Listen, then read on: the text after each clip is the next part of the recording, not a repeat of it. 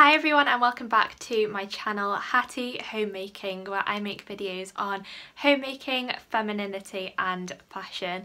So today's video I'm really excited about. It was actually inspired by another girl here on YouTube who has done this exact same video. She actually did a day in the life of a 1950s housewife and I swear it's my favourite ever YouTube video I've ever watched. Like I cannot even stress that enough. so it's inspired by that so I thought I would do my own version of a 1950s housewife morning routine and just go through the steps as close as I can.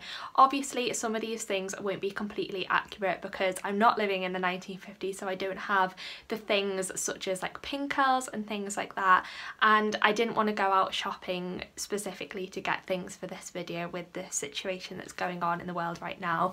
So I've done my best. I really hope you enjoy this video. I really enjoyed creating it for you and I just hope it gives you a little bit of nostalgia even if you weren't even alive during that time which I wasn't but I feel like every time I think about that time it just makes me feel all nostalgic. So this is almost a romanticised view of what it would have been like to be a 1950s housewife.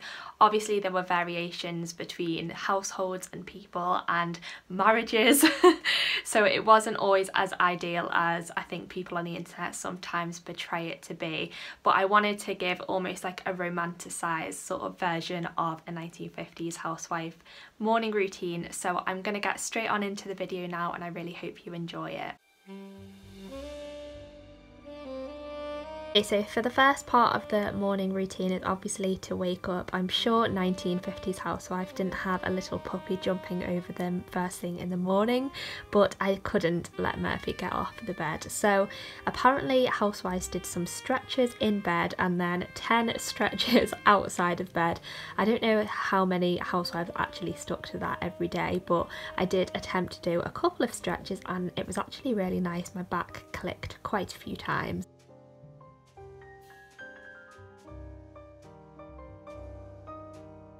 Next is to get out of bed and they would pull the covers right back to let the air sort of get into the bed and to air it out.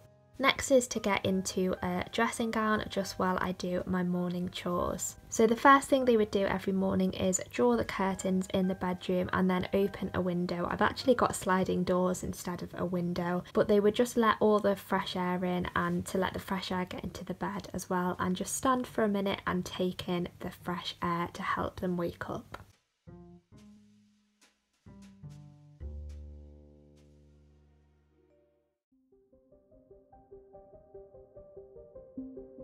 Next is straight into the bathroom to do the teeth and skincare. So I'm just cleaning my teeth, which is pretty self-explanatory. And then for the skincare, they kept it pretty basic. They used a soap that was quite simple. I think the most popular one in the UK was Palmolive. I can't say it, Palmolive. the brand is still around now, but I'm just using the Dove Beauty Cream Bar, which a lot of people still swear by now. So I'm just putting that soap all over my face and then washing it off with cold water. Next is to put some cold water on the wrists, which apparently helps you wake up. So apparently ladies would put cold water on their wrists as soon as they wake up to help them come around.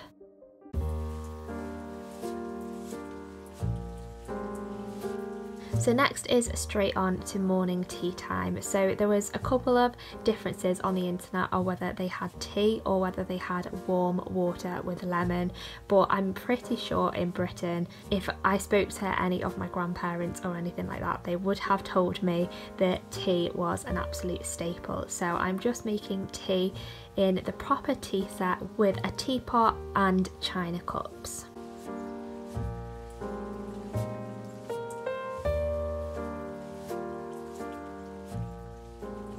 Next is time for a bath and personal hygiene which was taken extremely seriously. Most housewives would have a bath every single morning so I'm just running that and they would use soap all over their bodies and it was common practice just to soak in the bath for a while in the morning just getting clean and smelling amazing.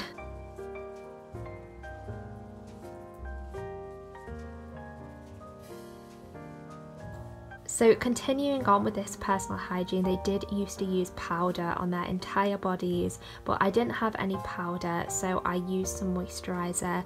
They would also use deodorant every single day.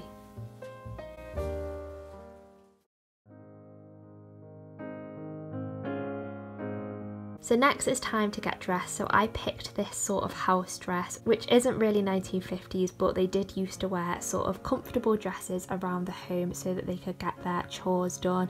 It is a bit of a misconception that 1950s housewife did wear dresses every day. They did actually used to wear comfortable jumpers and things like that to do their chores in. And then now I am just making the bed Everything was done with such care and high standards, and they had the time to really think about their own personal hygiene but also how the house looked. They were so important back then.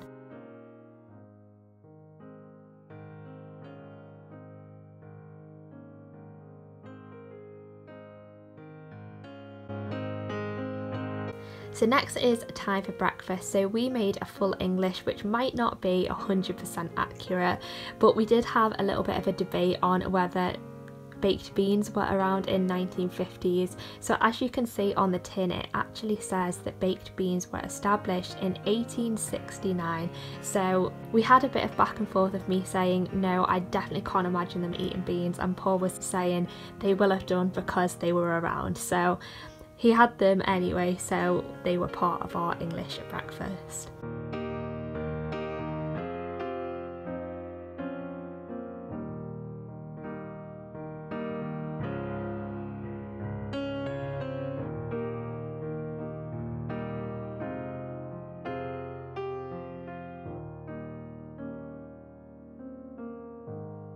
So today for the English breakfast we just had two slices of toast, some bacon, sausages, hash browns, egg and beans. This was Paul's plate, not mine, so don't worry I didn't eat this much this morning.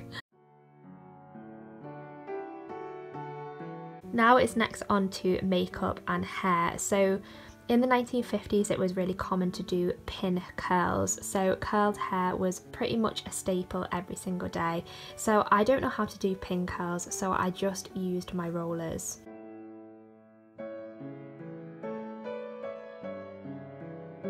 Then once my rollers were in, it's time to get on to the makeup. So I had a little Google about what sort of makeup was worn typically and Typically it was a light foundation and on one article I read it said that they actually wore a foundation shade one shade darker than their natural skin tone which I just thought was quite interesting because I thought going darker than your actual skin tone was more of a 2020 Essex thing but my foundation shade is a little bit darker for me anyway since I'm not getting much sunlight at the moment and I'm extremely pale.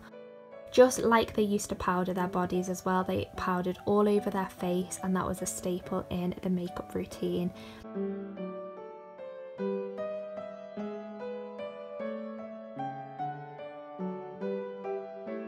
Next they wore blusher. They didn't really wear bronzer or I couldn't find anywhere that said they did so I'm just putting some bronzer on my cheeks. Next I'm just putting on some eyeliner. They used to wear either brown or black eyeliner. And now I'm just putting on some mascara. And it said online that they used to really cake their mascara on and wear loads of loads of layers. and then my camera cut out, but I actually put on some red lipstick. And then I just brought my rollers down. Then once the rollers were all out of my hair, I tried to do like a traditional sort of head scarf thing that they used to do. It turned out slightly in a bit of a mess, but I tried my best.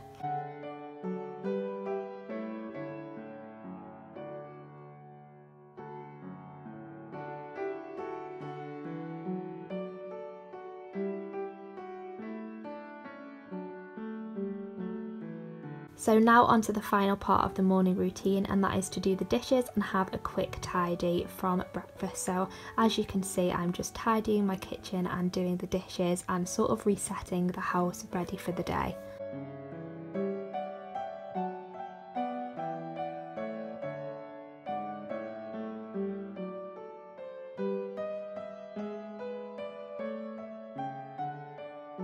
Then the final thing that housewives would do in the morning would be to open the curtains at the front of the house and then this would signify to other housewives that you were ready for visitors. Okay, so that is my 1950s morning routine of a housewife. So I really hope you have enjoyed this video. I really enjoyed filming it and it's definitely made me think about the differences between then and now. I especially love the concept of how women would only draw the curtains in the front of the house once they were ready for visitors. I just feel like that is so nice and it just gives me a feeling of a community that I wish we had right now and hopefully we can have again after everything with the pandemic. So I hope you have enjoyed this video. If you have then please do subscribe and I will see you in my next one.